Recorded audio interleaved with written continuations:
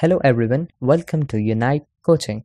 Unite Coaching has started a new video series in which you will learn of estimation of a full G plus 3 building in Microsoft Excel.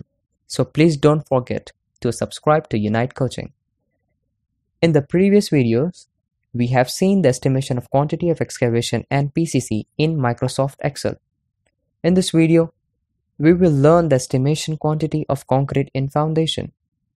If you have not watched that video, please first watch those videos. Now let's start with the tutorial. First of all, I have copy paste the group names from the CAD. Now the numbers of footing in a group can be counted and, ins and inserted in the number column. For calculation of quantity of concrete, I have divided the footing into two parts. First, First is a rectangular part or a box shape and the second one is trapezoidal part and I will calculate the quantity of these two shapes in a footing separately. Now the length and the width of the footing will be taken from the design table from AutoCAD. As you can see here, the size of the footing of the first group is 1300 mm into 1200 mm which is 1.3 meter into 1.2 meter. So I have entered these values of length and width in Excel. Similarly, the length and the width of other footing groups can be entered. The only dimension to be inserted is now height of box shape or rectangular shape. The height of first three groups is 150 mm which is 0.15 meter and the height for last two groups is 250 mm which is 0.25 mm 25 meter so I will enter these values. The last part remaining is to calculate the quantity. We will use same formula for calculation of quantity as we have seen in previous videos. For quantity, you have to just multiply number, length, width and height and you will get total quantity.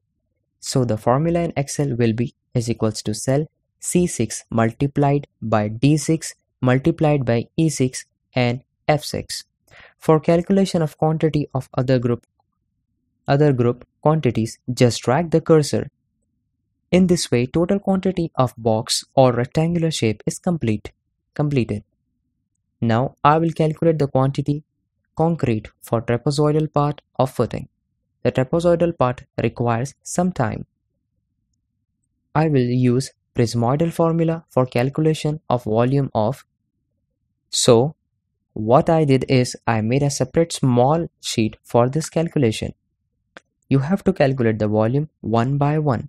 For the first group of footing, the size of column coming over it, it is 230 mm by 300 mm that is 0.23 meter into 0.30 meter.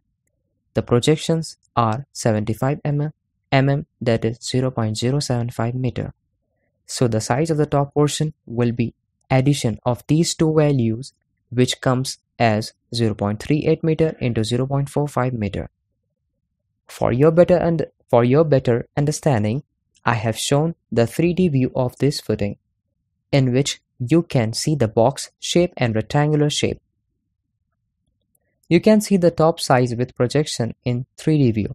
So the area of the top portion will be 0.38 meter into 0.45 meter. In Excel, just multiply these two to get area of top portion A1. Similarly, the size of bottom portion is 1.3 meter into 1.2 meter. We will multiply these two to get area of bottom portion A2. So the mean area will be A1 plus A2 divided by 2 which comes as 0.866 meter cube. The height of trapezoidal part is 450 mm that is 0.45 meter. So by the Prismoidal formula, we can calculate the final quantity or volume of trapezoidal part which is d by 6 into bracket a1 plus 4 into am plus a2 bracket close. So the formula in Excel will be is equals to cell n 18 divided by 6 multiplied by cell K15 that is top part area A1 plus 4 times cell K19 that is mean area plus cell K17 that is bottom part bottom part area which comes as 0.389 cubic meter. So I will put this value in the first group but this value is for one footing only and there are 15 footings in the first group. So for the final quantity just multiply number by volume of the one trapezoidal part of footing. In Excel it is is equals to cell C12 by D12 and drag the cursor for values. Now for the second group, just change values of size of column, size of bottom part of trapezoid and height of trapezoid. Excel will calculate all other values directly. So there one time, so there one time calculation. For example, for the second group, the size of column is 0.23 meter into 0.23 meter and the size of bottom of trapezoidal part is 1.35 meter into 1.3 meter and height is same 0.45 meter. So I will enter these values in the Excel for second group and I will calculate the quantity of these group. Similarly, you can go for other footings too. In this way, you can calculate the quantity of concrete for footing in Excel. In the next video, we will start the calculation of quantity of concrete work for column in Excel. If you have any query or doubt about this tutorial, you can ask in the comment section below. Thanks for watching this video. Please subscribe to Unite Coaching for more such videos.